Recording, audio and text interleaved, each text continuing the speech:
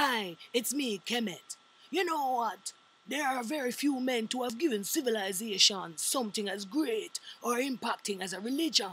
Moses gave us Judaism, Siddhartha Gautama gave us Buddhism, Jesus gave us Christianity, and Muhammad gave us Islam. Yeah, and Leonard Howell now. Leonard Howell, yeah man, me know my history, you know. That was a black man, a great Jamaican man, and he gave us Rastafari, the only great religion to emerge out of the 20th century. Is he to be forgotten? Me not forget him, you know.